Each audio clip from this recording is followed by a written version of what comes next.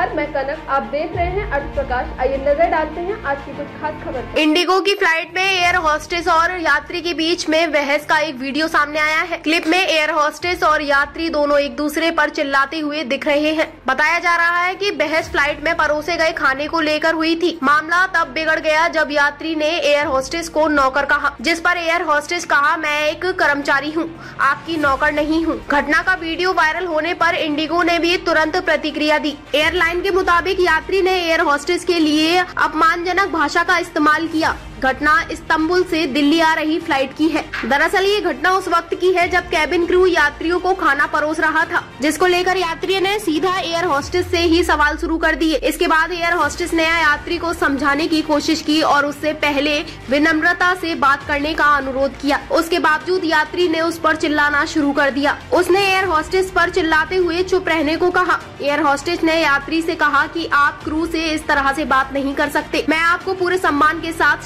शांति से सुन रही हूँ। आपको भी क्रू मेंबर का सम्मान करना होगा। आप मुझसे इस तरह से बात नहीं कर सकते। मैं भी यहाँ एक कर्मचारी हूँ, आपकी नौकर नहीं। इस पर यात्री ने पूछा कि आप क्यों चिल्ला रही है? जिसके जवाब में उसने कहा, क्योंकि आप हम पर चिल्ला रहे हैं। इस दौरान दूसरे क्रू मेंबर ने हस्तक्षेप करके मामले को सुलझाने की कोशिश की।